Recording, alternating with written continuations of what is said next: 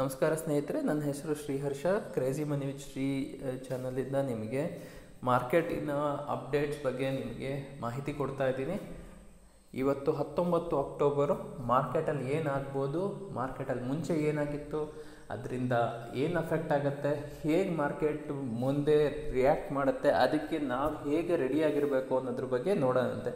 ನೀವು ನನ್ನ ಟೆಲಿಗ್ರಾಮ್ ಸಾರಿ ನನ್ನ ಯೂಟ್ಯೂಬ್ ಚಾನಲನ್ನು ನೀವು ಸಬ್ಸ್ಕ್ರೈಬ್ ಮಾಡಿಲ್ಲ ಅಂದರೆ ಫಸ್ಟ್ ಈ ವಿಡಿಯೋನ ಲೈಕ್ ಮಾಡಿ.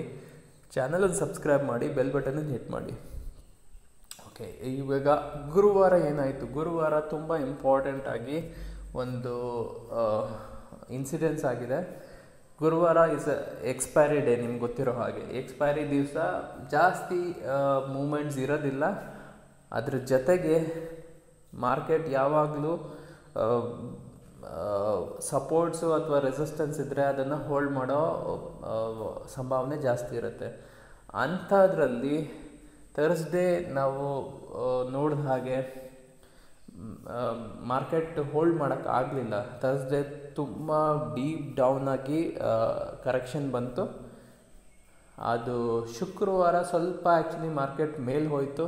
ಸೊ ಓವರಾಲ್ ಮಾರ್ಕೆಟಲ್ಲಿ ನಿಮಗೇನು ಅನಿಸ್ಬೋದು ಅಂದರೆ ಓ, ಮಾರ್ಕೆಟ್ ಮತ್ತೆ ರಿವರ್ಸ್ ಆಗುತ್ತೆ. ಮಾರ್ಕೆಟ್ ರಿವರ್ಸ್ ಆಗೋ ಸಂಭಾವನೆ, ಮಾರ್ಕೆಟ್ ಥರ್ಸ್ಡೇ ಪ್ರಕಾರ ನೀವು ನೋಡೋದಾದರೆ ರಿವರ್ಸ್ ಆಗಿರ್ಬೋ ಬೋದು ಅಂತ ಅಂದ್ಕೊಂಡಿದ್ರೆ ಆಗೋ ಚಾನ್ಸಸ್ ಇದೆ ಬಟ್ ಎಷ್ಟು ಮಟ್ಟಿಗೆ ಆಗುತ್ತೆ ಅನ್ನೋದು ನೋಡಬೇಕಾಗತ್ತೆ. ಯಾಕಂದರೆ ಇಲ್ಲಿಂದ ಮಾರ್ಕೆಟಲ್ಲಿ ಹನ್ನೆರಡು ಸಾವಿರ, ಹನ್ನೆರಡು ಸಾವಿರದ ನೂರರ ಮೇಲೆ ಮಾರ್ಕೆಟ್ ಮೇಲೆ ಹೋಗೋ ಸಂಭಾವನೆ ತುಂಬಾ ಕಮ್ಮಿ ಇದೆ. ಗುರುವಾರ ಏನು ಈ ಮೂಮೆಂಟ್ ಆಯಿತು, ಇದರಲ್ಲಿ ಒಂದಲ್ಲ, ಹಲವಾರು ಚಾರ್ಟ್ ಪ್ಯಾಟ್ರನ್ಸು ಬಂದಿದೆ, ರಿವರ್ಸಲ್ ಪ್ಯಾಟ್ರನ್ಸು. ಒಂದು ಡಬಲ್ ಟಾಪ್ ಆಗಿದೆ, ಇನ್ನೊಂದು ಬೇರಿಶ್ ಹರಾಮಿ ಆಗಿದೆ, ಬೇರಿಶ್ ಎನ್ಗಲ್ಫಿಂಗ್ ಆಗಿದೆ. ಸಾಕಷ್ಟು ಪ್ಯಾಟ್ರನ್ಸ್ ಆಗಿದೆ, ಇವೆಲ್ಲ ನೆಗೆಟಿವ್ ಪ್ಯಾಟ್ರನ್ಸು, ಇವೆಲ್ಲ ರಿವರ್ಸಲ್ ಪ್ಯಾಟ್ರನ್ಸು. ಒಂದು ಪ್ಯಾಟ್ರನ್ ಆಗಿಲ್ಲ, ಮಲ್ಟಿಪಲ್ ಪ್ಯಾಟ್ರನ್ಸ್ ಆಗಿದೆ. ಇದು ಇಂಡಿಯನ್ ಮಾರ್ಕೆಟ್ ಸಿನಾರಿಯೋ, ನಾನು ನಿಮ್ಗೆ ಹೇಳ್ತಾ ಇರೋದು. ಮತ್ತು ಇನ್ನೊಂದು ಹೇಳೋಣಂತೆ. ಬುಲ್ ಮಾರ್ಕೆಟ್ ಆದರೆ ಈ ಥರ ಆಗೋದಿಲ್ಲ. ಯಾಕೆಂದರೆ, ಒಂದು ಅರ್ಥ ಮಾಡ್ಕೊಳ್ಳೋಣ. ಬುಲ್ ಮಾರ್ಕೆಟಲ್ಲಿ ಈಗ ಲಾಸ್ಟ್ ಪೂರ್ತಿ ವೀಕಲ್ಲಿ ಏನು ನೀವು ಮಾರ್ಕೆಟ್ ಮೇಲೆ ಹೋಗಿತ್ತು, ಒಂದೇ ದಿವಸದಲ್ಲಿ ಮಾರ್ಕೆಟ್ ಆ್ಯಕ್ಚುಲಿ ಪ್ರತಿಯೊಂದನ್ನು ನಷ್ಟ ಮಾಡಿಬಿಡ್ತು. ಇದು ಬುಲ್ ಮಾರ್ಕೆಟಿನ ಸಂಕೇತ ಅಲ್ಲ, ಇದು ಬೇರ್ ಮಾರ್ಕೆಟಿನ ಸಂಕೇತ. ಆದ್ದರಿಂದ ನೀವು ತುಂಬ ತುಂಬ ಹುಷಾರಾಗಿರಬೇಕು. ಈ ಪರ್ಟಿಕ್ಯುಲರ್ ಪರಿಸ್ಥಿತಿಯಲ್ಲಿ. ಯಾಕಂದರೆ ಇದಕ್ಕೆ ಸಾಕಷ್ಟು ಕಾರಣಗಳಿದೆ. ಇದು ಇಂಡಿಯನ್ ಮಾರ್ಕೆಟ್ ಸಿನಾರಿಯೋ ಯುರೋಪಿಯನ್ ಮಾರ್ಕೆಟಲ್ಲಿ ನೋಡೋಣಂತೆ ಯುರೋಪಿಯನ್ ಮಾರ್ಕೆಟಲ್ಲಿ ಹೆಡ್ ಆ್ಯಂಡ್ ಶೋಲ್ಡರ್ ಪ್ಯಾಟ್ರನ್ ಇದೆ ಡಿಸೆಂಡಿಂಗ್ ಟ್ರ್ಯಾಂಗಲ್ ಪ್ಯಾಟ್ರನ್ ಇದೆ, ಸಾಕಷ್ಟು ನೆಗೆಟಿವ್ ಪ್ಯಾಟ್ರನ್ ಅಲ್ಲೂ ಕೂಡ ಕ್ರಿಯೇಟ್ ಆಗಿದೆ. ಯು ಎಸ್ ಮಾರ್ಕೆಟ್ ಕೂಡ ತುಂಬಾ ವೀಕ್ ಇದೆ. ನೀವು ಹಂಗೆ ನೋಡಿದ್ರೆ ಮಾರ್ಕೆಟ್ ಒನ್ ಪರ್ಸೆಂಟ್ ಅಪ್ ಇದೆ ಟೂ ಪರ್ಸೆಂಟ್ ಅಪ್ ಇದೆ, ಅವೆಲ್ಲ ನೋಡೋಕ್ಕೆ ಹೋಗಬೇಡಿ. ಯಾಕಂದರೆ ಓವರ್ ಆಲ್ ಚಾರ್ಟ್ಸು ಪ್ರತಿಯೊಂದು ಎಸ್ ಎನ್ ಪಿ ಆಗಲಿ ಡೌಜೋನ್ಸ್ ಆಗಲಿ ನ್ಯಾಸ್ಡ್ಯಾಕ್ ಆಗಲಿ, ಪ್ರತಿಯೊಂದು ವೀಕ್ ಆಗ್ತಾ ಬರ್ತಾ ಇದೆ. ಮಾರ್ಕೆಟ್ ತುಂಬ ಸ್ಟ್ರಾಂಗಾಗಿ ಮೇಲೆ ಹೋದಾಗ ಯೂ ಟರ್ನ್ ತೊಗೋಬೇಕು ಅನ್ನೋಕ್ಕಿಂತ ಮುಂಚೆ ಅದು ಸ್ಲೋ ಆಗಬೇಕು. ಆ ಸ್ಲೋ ಆಗಿದೆ ಇವಾಗ. ಇಲ್ಲಿಂದ ಮಾರ್ಕೆಟ್ ಕೆಳಗೆ ಬೀಳೋಕ್ಕೆ ಎಲ್ಲ ಸಿದ್ಧತೆಗಳನ್ನು ಮಾಡಿಕೊಂಡಿದೆ. ಆದ್ದರಿಂದ ತುಂಬ ತುಂಬ ನಾವು ಕೇರ್ಫುಲ್ ಆಗಿರಬೇಕು. ಇಲ್ಲಿ ಕೆಲವೊಂದು ವಿಚಾರಗಳನ್ನು ನೋಡೋಣಂತೆ. ಒಂದು, ಟೆಕ್ನಿಕಲಿ ಎಲ್ಲ ಮಾರ್ಕೆಟ್ಸು ವೀಕ್ ಆಗಿದೆ. ಎರಡನೇದು, ಈ ರಿವರ್ಸಲ್ಲು ಸೈಕಲ್ ರಿವರ್ಸಲ್ಲಿಲ್ಲ ಏನು ಆಗುತ್ತೆ? ಇದು ಜನ್ರಲಿ ಮಾರ್ಚ್ ಅಥವಾ ಅಕ್ಟೋಬರಲ್ಲಿ ಆಗುತ್ತೆ. ನಾನು ನಿಮಗೆ ಮುಂಚೆನೂ ಹೇಳಿದ್ದೆ. ಅದು ನಾವು ನೋಡಿದ್ವಿ ಕೂಡ ಅಕ್ಟೋಬರ್ ಫಸ್ಟ್ ವೀಕಲ್ಲೇ ಸಾಕಷ್ಟು ರಿವರ್ಸಲ್ಸ್ ಬರೋಕ್ಕೆ ಸ್ಟಾರ್ಟ್ ಆಯಿತು ಬಟ್ ಅಲ್ಲಿಂದ ಇಮಿಡಿಯೇಟಾಗಿ ಬೌನ್ಸ್ ಆಯಿತು. ಎಷ್ಟು ಫಾಸ್ಟಾಗಿ ಮೇಲೆ ಹೋಯಿತು ಅಂದರೆ ಕಂಟಿನ್ಯೂಸ್ ಆಗಿ ಆಲ್ಮೋಸ್ಟ್ ಹತ್ತು ದಿನದಲ್ಲಿ ಒಂದು ಸಾವಿರ ಪಾಯಿಂಟ್ಸ್ ಆ್ಯಕ್ಚುಲಿ ಮಾರ್ಕೆಟ್ ಮೇಲೆ ಹೋಗ್ಬಿಡ್ತು. ಸೊ ನಮ್ಮ ಮುಖ್ಯವಾದ, ಏನು ಜಾಗ ಎಲ್ಲಿಂದ ಆ್ಯಕ್ಚುಲಿ ಕರೆಕ್ಷನ್ ಬಂತು ಅದರ ಮೇಲೆ ಹೋಗ್ಬಿಡ್ತು. ಸೊ ಅದಾದಮೇಲೆ ನಾವು ಆ್ಯಕ್ಚುಲಿ ಪ್ರಾಬಬ್ಲಿ ಇದು ಬ್ರೇಕೌಟ್ ಆಗಿದೆ, ಮತ್ತು ಹೊಸ ಮೂಮೆಂಟ್ ಬರ್ತಾ ಇದೆ ಅಂತ ಅಂದ್ಕೊಂಡಿದ್ವಿ ಇದು ಫಾಲ್ಸ್ ಬ್ರೇಕ್ಔಟ್ ಅಂತ ಅನ್ನಿಸ್ತಾ ಇದೆ. ಯಾಕಂದರೆ ಮತ್ತೆ ಅದ್ರ ಮೇಲೆ ಒಂದು ನೂರು ಇನ್ನೂರು ಪಾಯಿಂಟ್ ಮೇಲೆ ಮತ್ತೆ ಕರೆಕ್ಷನ್ ಕೊಟ್ಟಿದೆ. ಇದು ತುಂಬ ತುಂಬ ನೆಗೆಟಿವ್ ಆಗಿ ಕಾಣಿಸ್ತಾ ಇದೆ. ಇದು ಫಾಲ್ಸ್ ಬ್ರೇಕೌಟ್ ಆಗಿದ್ದರೆ ಇಲ್ಲಿಂದ ಮಾತ್ರ ತುಂಬಾ ಜಾಸ್ತಿ ಕರೆಕ್ಷನ್ ಆಗುತ್ತೆ. ಇದಕ್ಕೆ ಬೇಕಾದಷ್ಟು ಕಾರಣಗಳಿದೆ. ಮುಂಚೆ ನಾನು ನೋಡ್ದಂಗೆ ಬರೀ ಬ್ಯಾಂಕ್ಸಲ್ಲಿ ವೀಕ್ನೆಸ್ ಇತ್ತು, ಇವಾಗ ಐ ಟಿಲಿ ವೀಕ್ನೆಸ್ ಇದೆ ಫಾರ್ಮಲ್ ವೀಕ್ನೆಸ್ ಇದೆ ರಿಲಯನ್ಸಲ್ಲಿ ವೀಕ್ನೆಸ್ ಇದೆ. ಮಾರ್ಕೆಟ್ ಮೇಲೆ ಎತ್ಕೊಂಡು ಹೋಗೋಕ್ಕೆ ಕಾರಣ ಇದ್ದಿದ್ದೆ I T pharma Reliance I T pharma Reliance ಮಾರ್ಕೆಟನ್ನು hold ಮಾಡೋಕ್ಕಾಗಲಿಲ್ಲ ಅಂದರೆ ಬ್ಯಾಂಕ್ಸ್ ಹೋಲ್ಡ್ ಮಾಡಬೇಕು. ಬ್ಯಾಂಕ್ಸ್ ಟ್ರೈ ಮಾಡ್ತಾ ಇದೆ ಬಟ್ ಎಲ್ಲಿವಟ್ಟಿಗೆ ಹೋಲ್ಡ್ ಮಾಡುತ್ತೆ ಹೇಳೋಕ್ಕಾಗಲ್ಲ. ಯಾಕಂದರೆ ಅದು ಇನ್ನೂರು ದಿನದ ಮೂವಿಂಗ್ ಆ್ಯಾವ್ರೇಜ್ ಮೇಲೆ ಹೋದಾಗೆಲ್ಲ ಅದಕ್ಕೆ ರೆಸಿಸ್ಟೆನ್ಸ್ ತೊಗೊತಾ ಇದೆ. ಅಲ್ಲಿಂದ ಕಂಟಿನ್ಯೂಸ್ ಆಗಿ ಡೌನ್ ಬರ್ತಾ ಇದೆ. ಆದ್ದರಿಂದ ಇಲ್ಲಿಂದ ಮಾರ್ಕೆಟು ಮೇಲ್ ಹೋಗೋಕ್ಕೆ ಕಷ್ಟ ಆಗುತ್ತೆ. ಮಾರ್ಕೆಟ್ ಮೇಲೆ ಹೋಗೋದಾದರೆ ಮ್ಯಾಕ್ಸಿಮಮ್ ಅಪ್ಸೈಡು ಪ್ರೀವಿಯಸ್ ಏನು ಹೈ ಮಾಡಿತ್ತು, ಅದು ಅಥವಾ ಅದಕ್ಕಿಂತ ಮೇಲೆ ಒಂದು ಐವತ್ತು ಪಾಯಿಂಟು ಹೆಚ್ಚು ಕಮ್ಮಿ ಅಂತ ಅಂದ್ಕೊಳ್ಳಿ ಹನ್ನೆರಡು ಸಾವಿರ, ಹನ್ನೆರಡು ಸಾವಿರದ ನೂರು ಮ್ಯಾಕ್ಸಿಮಮ್ ಅಪ್ಸೈಡ್ ಮಾರ್ಕೆಟ್ಗೆ ಬಟ್ ಡೌನ್ ಸೈಡ್ ಇಲ್ಲಿಂದ ಪ್ರಾಬಬ್ಲಿ ನಾವು previous eleven thousand ಲೆವೆ ten thousand eight hundred ಆರಾಮಾಗಿ ಹೋಗ್ಬೋದು. ಅದಕ್ಕಿಂತ ಜಾಸ್ತಿ ಹೋಗೋ ಸಂಭಾವನೆ ತುಂಬಾ ಇದೆ. ಹತ್ತು ಸಾವಿರದ ಎಂಟುನೂರು ಕ್ರಾಸ್ ಮಾಡಿಬಿಟ್ರೆ ಬ್ರೇಕ್ ಮಾಡಿದ್ರೆ ಮಾರ್ಕೆಟಲ್ಲಿ ತುಂಬಾ ಜಾಸ್ತಿ ವೀಕ್ನೆಸ್ ಬರುತ್ತೆ.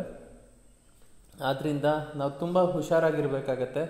ಇದು ನಾವು ಟೆಕ್ನಿಕಲ್ ಪ್ರಕಾರ ನೋಡೋದಾದರೆ ಟೈಮ್ ಸೈಕಲ್ ಬಗ್ಗೆನೂ ಹೇಳಿದ್ದೀನಿ ಅಸ್ಟ್ರಾಲಜಿಕಲ್ ಪಾಯಿಂಟ್ ಆಫ್ ವ್ಯೂ ನೋಡೋಣಂತೆ. ಫೈನಾನ್ಷಿಯಲ್ ಅಸ್ಟ್ರಾಲಜಿಯಲ್ಲಿ ನಾವೇನು ಹೇಳ್ತೀವಿ, ಅದ್ರ ಪ್ರಕಾರ ನೋಡಬೇಕು ಅಂದರೆ ನವೆಂಬರ್ ಮೂರುವರೆಗೂ ಮಾರ್ಕೆಟಲ್ಲಿ ತುಂಬಾ ಅನ್ಸರ್ಟಿನಿಟಿ ಇದೆ ತುಂಬಾ ಆಗಿರುತ್ತೆ ಮಾರ್ಕೆಟು ಮೇಲ್ ಹೋಗೋಕ್ಕೆ ನಮಗೆ ಸ್ಕೋಪ್ ಇರೋದು ನೂರು ಇನ್ನೂರು ಪಾಯಿಂಟು ಕೆಳಗೆ ಬರೋಕ್ಕೆ ನಮಗೆ ಅಟ್ಲೀಸ್ಟ್ ಸಾವಿರ ಪಾಯಿಂಟ್ ಆ್ಯಕ್ಚುಲಿ ಕರೆಕ್ಷನ್ ಬರೋ ಸಂಭಾವನೆ ಇದೆ.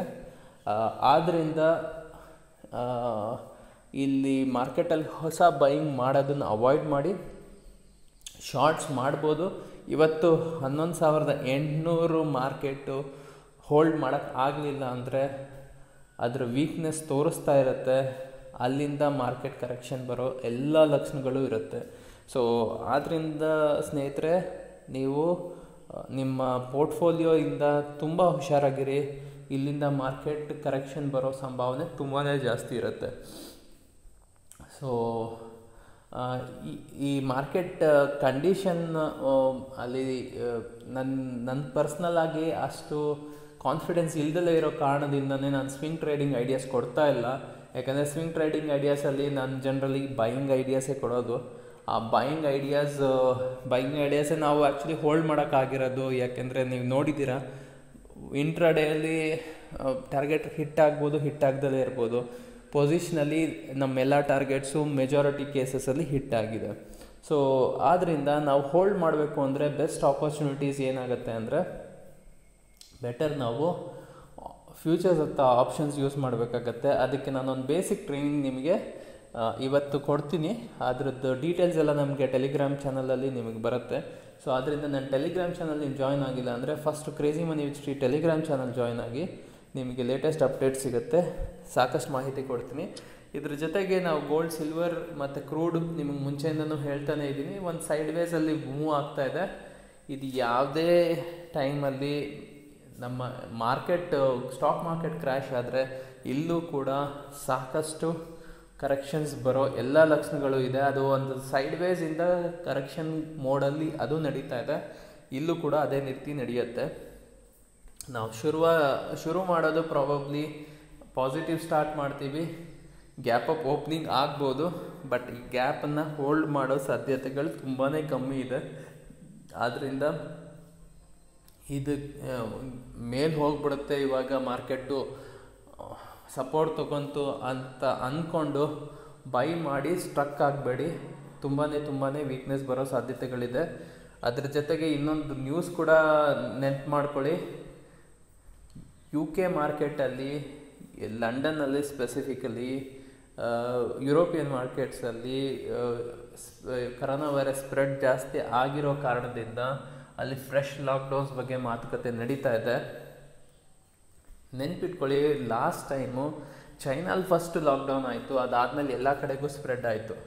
ನಾವಿವಾಗ ಆಲ್ರೆಡಿ ಏರ್ ಟ್ರಾಫಿಕ್ಕು ಮತ್ತೆ ವಾಪಸ್ ಬಿಟ್ಟಿದ್ದೀವಿ ಆಯಿತಾ? ಅದ್ರ ಜೊತೆಗೆ ಸಾಕಷ್ಟು ಲಾಕ್ಡೌನ್ದು ನಾರ್ಮ್ಸ್ ಎಲ್ಲ ಲೀನಿಯಂಟ್ ಆಗಿದೆ. ದೀಪಾವಳಿ ದಸರಾ ಬರ್ತಾ ಇದೆ. ಪ್ರತಿಯೊಂದು ರಿಲಿಜಿಯಸ್ ಟೆಂಪಲ್ಸ್ ಆ್ಯಕ್ಚುಲಿ ಎಲ್ಲ ಓಪನ್ ಆಗಿದೆ. ಸಿನಿಮಾ ಹಾಲ್ ಓಪನ್ ಆಗಿದೆ. ಎಲ್ಲೆಲ್ಲಿ ವೈರಸ್ ಸ್ಪ್ರೆಡ್ ಆಗೋಕ್ಕೆ ಚಾನ್ಸಸ್ ಇದೆಯೋ ಎಲ್ಲ ಓಪನ್ ಆಗಿಬಿಟ್ಟಿದೆ ಇವಾಗ.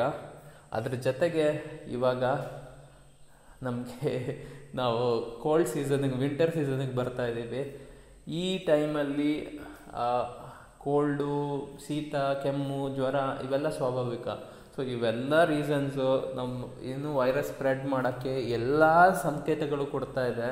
ಆದ್ದರಿಂದ ಇಲ್ಲಿ ಮತ್ತೆ ಫ್ರೆಶ್ ಲಾಕ್ಡೌನ್ ಬಂತು ಅಂದರೆ ತುಂಬಾ ತುಂಬಾ ಕಷ್ಟ ಆಗುತ್ತೆ. ಈಗ ಲಾಕ್ಡೌನ್ ಆಗಲಿಲ್ಲ ಅಂದರೂ, ಆ ಲಾಕ್ಡೌನ್ ಆಗಿಬಿಡುತ್ತೇನೋ ಅನ್ನೋ ಹೆದರಿಕೆಗೆ ತುಂಬಾ ಪ್ಯಾನಿಕ್ ಬರುತ್ತೆ ಮಾರ್ಕೆಟಲ್ಲಿ ಆದ್ದರಿಂದ ತುಂಬ ತುಂಬ ಸಾವಧಾನವಾಗಿರಿ. ಇದನ್ನು ನಿಮಗೆ ಹೇಳಬೇಕು ಅಂತಿದ್ದೀನಿ. ಧನ್ಯವಾದಗಳು ಸ್ನೇಹಿತರೆ. ನಿಮ್ಮ ದಿನ ಶುಭವಾಗಲಿ ಲಾಭದಾಯಕವಾಗಲಿ ಅಂತ ಹಾರೈಸ್ತೀನಿ. ಧನ್ಯವಾದಗಳು.